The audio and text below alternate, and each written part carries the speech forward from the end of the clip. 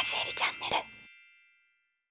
こんにちは、かじえりです。はい、今日はですね、8月に購入したコスメたちを紹介していきたいと思います。でね、今まあお気づきの方もいるかもしれないんですが、私コロナに感染してしまいましてですね、2週間ぐらい前に。で、今もちょっと鼻声っぽい感じがすると思うんですが、結構厄介で長引いてるんですね。その後を引いてるって感じで、なんか陰性は出てるのに咳が出ちゃったりとか、こうやって鼻声の状態だったりするんですが、体調はもう大丈夫です。まあね、ちょっと更新が2週間空いちゃったんですがえ今日は秋の新作コスメもあれば定番商品も購入してるのでぜひ最後までご覧ください。そして今日はですねネットで購入したアイテムたちなんですよ。だからなんかあこれ思った感じじゃなかったなっていうのもちょっとあるのでそれも含めて紹介していきます。それでは動画スタート。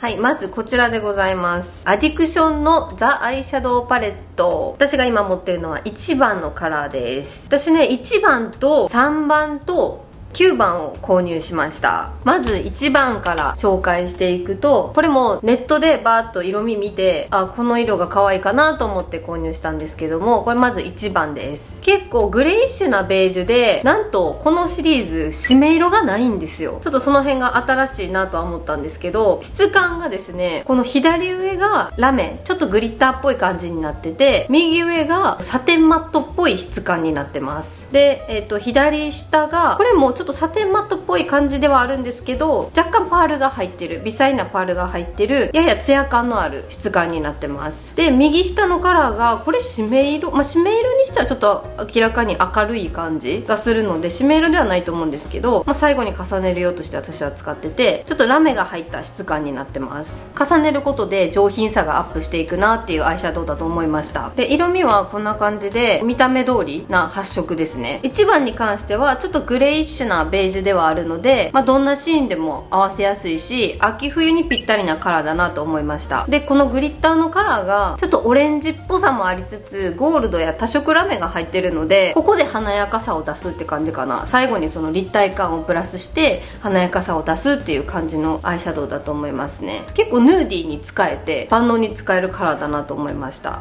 で今日のこういう洋服とかにもね合いそうやし秋冬の洋服に結構合わせやすい配色だなって感じます。で3番はいこちらですね。こちらはちょっとピンクとコーラルが混ざったようなすごいおしゃれな配色バランスだなと思いました。なのでこちらを購入しましたね。で質感は先ほど紹介したような感じには似てるんですけどこの右下のカラーこれはさっきの1番に比べてラメがそんなに入ってないです。で一つ一つ紹介していくとまずこの左上のグリッターカラーこれはゴールドラメが結構配合されているような感じがしますね。あとちょっとピンクラメも入ってます。で右上のカラーはちょっとオレンジがかったベージュっぽい色してますね。結構これを私はベースに入れることが多いです。でこのピンクがめっちゃ可愛いなと思いました。なんかね見た目の感じはコーラルっぽいかなって思ったんですけど触ってこう装置すると結構ピンクでそのピンクの中にもゴールドパールかな？が配合されてるのでちょっとコーラルっぽく見えるのかなって感じ感じます。つけてみると意外と結構サイド明度が高めなピンクでそのパレットで見る見た目の色よりはちょっと青みっぽいというかでもゴールドパールが入ってることによって青みがちょっと抑えられてるみたいな絶妙なカラーだなと思います。ナーズのオーガズムのチークのなんか色に若干似てるような感じですね。ちょっとほてったような内側から出るような血色感みたいな仕上がりになります。で右下のカラーがちょっと赤みのあるブラウンって感じでこれはサテンマットっぽい質感ですね。あんまりラメやパールもそこまで感じられないそんな感じの質感です。このカラーは結構使いやすいなって思いました。ただやっぱ私は秋冬だとベージュ着たりとかやっぱサイドが低い洋服を着ることが多いのでどちらかっていうとこの3番に関してはちょっと春夏っぽいなって思いました。結構ね意外とサイドが高いんですよね。でもこのカラーはすごいあの好きな人多いだろうなって思います。そして私一番気に入ってるのはですねこの9番なんですよ。じゃん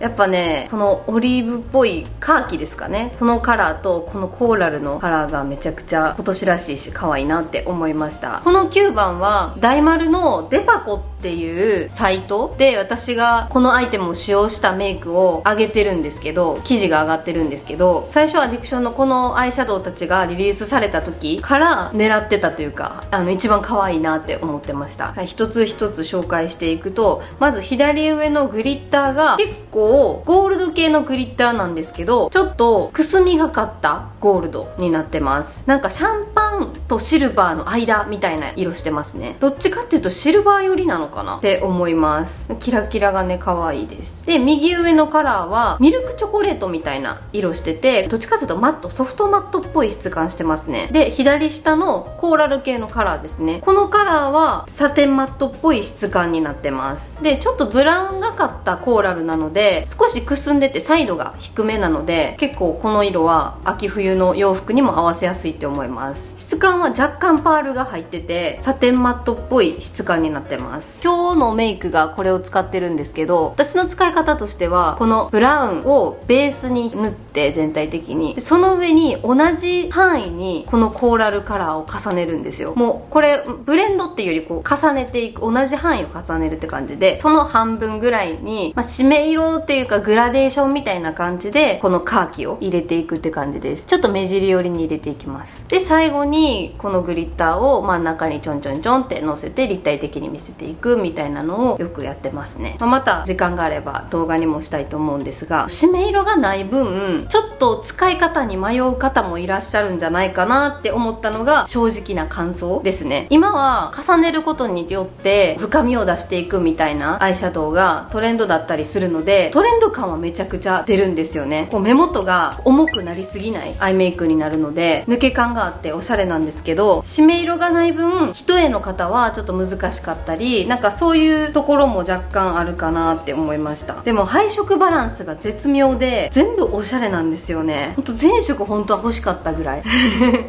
けどまあさすがにね使い切れないし、まあ、この秋冬だけでそんないっぱい持っててもなと思ったので、まあ、全色は買わなかったですけどでもまあ特に気になった3つを購入してみましたという感じです。意外とその質感が全部バラバラやったりとかそういうところがそのネットじゃあんまりわからないじゃないですか。だからこの動画でちょっとでも参考になれば嬉しいです。はい。そして次はチークでございます。MAC のグロープレイブラッシュのソーナチュラル。これずっと気になってたんですけどチークを買う機会がやっぱりマスク生活の中でそこまでやっぱなくってでも撮影の現場で使用したいと思って買いました。結構控えめなナチュラルトーンのベージュでこのグロープレイブラッシュの特徴としてはプニプニとしたなんかね不思議な質感をしてるんですよ。だからちょっとクリームチークに近いパウダーチークって感じで内側から出るような血色感肌なじみがすごくいいチークになってます。でこれをブラシでつけるんですけど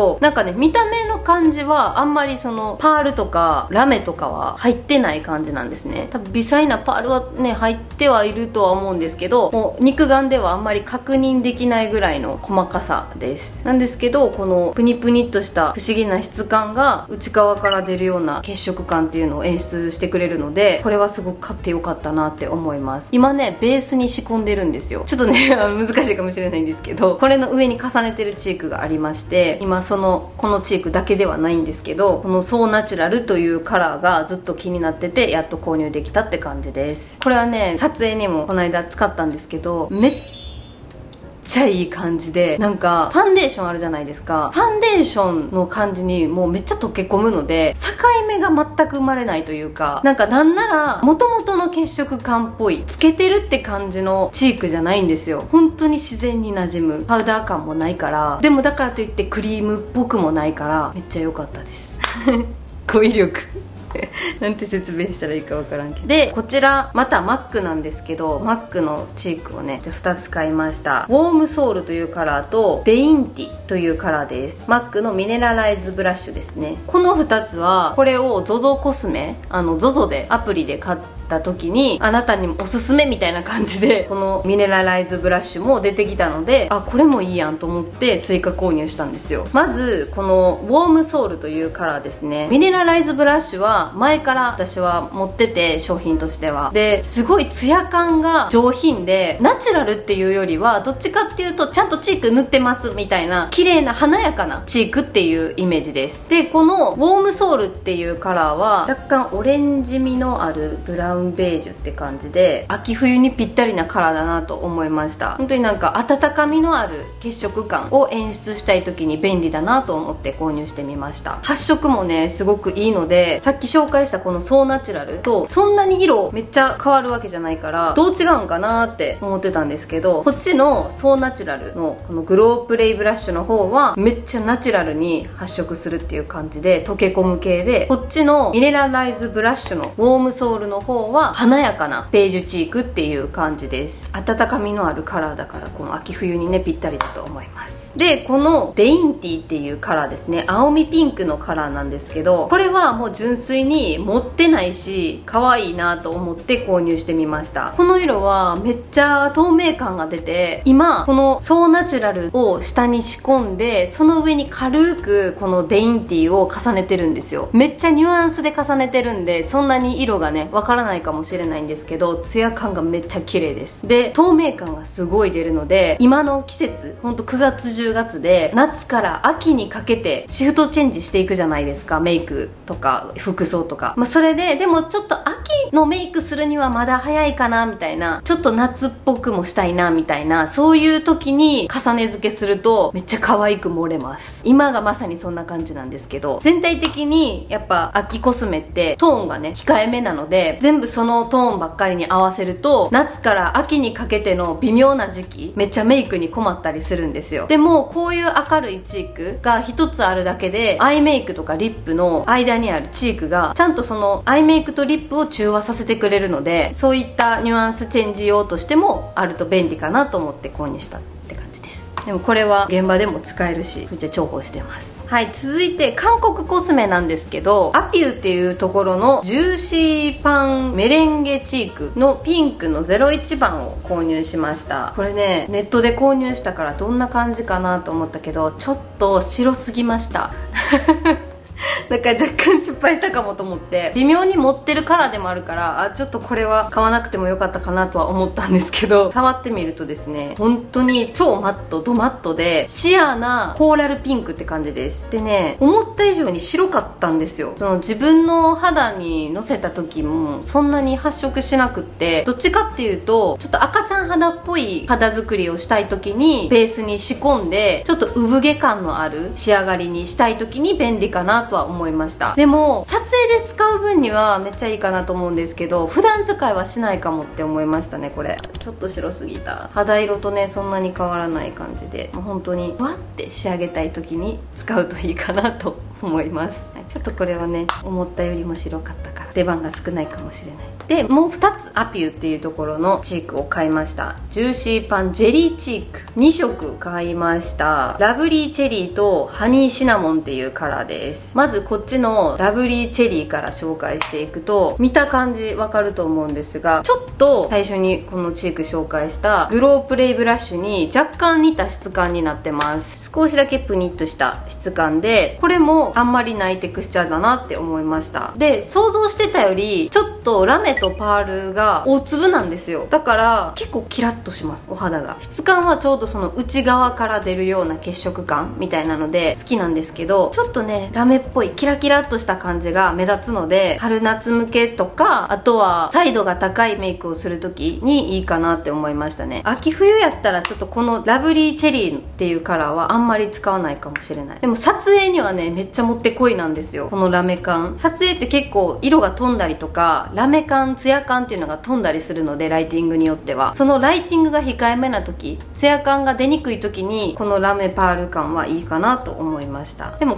この色はね春夏向けかなと思います。でこっちのハニーシナモンっていうカラーはちょっとブラウンがかった色味になってます。こっちはめっちゃ秋冬系やなって感じです。でもこれもさっき同様ちょっとラメパール感が強いです。だから濡れ感みたいなツヤが欲しい方にはいいかなって感じですね。あとちょっと立体的に見せたいとか頬にキラッとしたツヤ感が欲しいとかそういう時はめちゃ便利だと思います。この色はすごい使いやすそう。ちょっとね肌にのせた感じ顔にのせた感じは全部レビューするともう 顔面がいかれてしまうので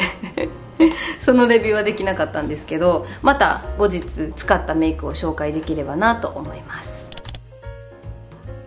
はいいかがでしたでしょうか？めちゃくちゃ正直レビューしちゃいましたけども。